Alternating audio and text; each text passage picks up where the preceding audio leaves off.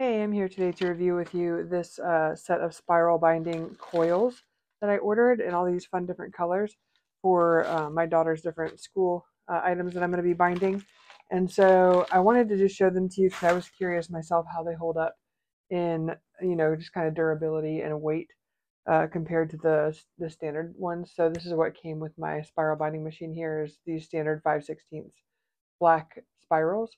And then this is a, uh, this is also the 5 16th purple that came in that um, the set I'm currently telling you about. So you can see size is pretty much the same there. Um, I would say actually the purple is maybe just a touch bigger than the standard 5 16th that came with the machine. Um, as far as durability, I think that they're very comparable. So um, there's really not much of a difference as far as you know when I'm pulling on it, as far as um, how much one stretches versus the other and the tension. Um, and as far as thickness and bending, they're pretty much the same quality, I would say. Um, and so I've used a few different sizes here. Um, I like these uh, are workbooks that we've purchased. However, they come with like a regular side binding, and because um, my daughter works in them, I like to have it spiral bound so it lays flat. So I just print them and um, do that.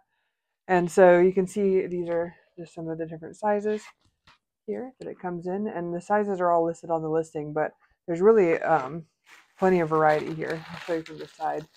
Uh, so you have the smallest are these are orange, and they go all the way up to the biggest, which are these blue ones here, um, which I haven't actually had to use the blue ones yet. So the biggest I've had to use is the next step down, um, the yellow, which is the 5 eighths. So twice the size of 5 16ths, I guess.